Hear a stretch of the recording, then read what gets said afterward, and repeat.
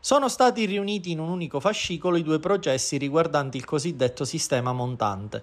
Lo ha deciso il Tribunale collegiale di Caltanissetta nell'udienza di questa mattina. Si tratta dei due processi in corso con il rito ordinario. Uno è quello con 17 imputati scaturito dall'inchiesta Double Face, l'operazione che nel 2018 aveva portato all'arresto dello stesso Antonello Montante, il quale aveva però optato per il rito abbreviato. Il secondo, con 13 persone rinviate a giudizio nei mesi scorsi, scaturisce dal nuovo filone d'indagine che riguarda le presunte ingerenze politiche di quello che è conosciuto come il cerchio magico messo in piedi, sempre secondo l'accusa, dallo stesso Montante e dai suoi fedelissimi.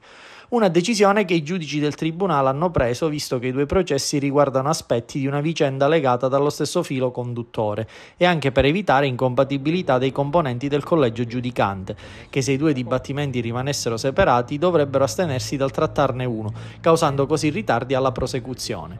Una volta disposta la riunione dei due processi, il tribunale presieduto da Francesco D'Arrigo ha rinviato l'udienza al prossimo 26 settembre.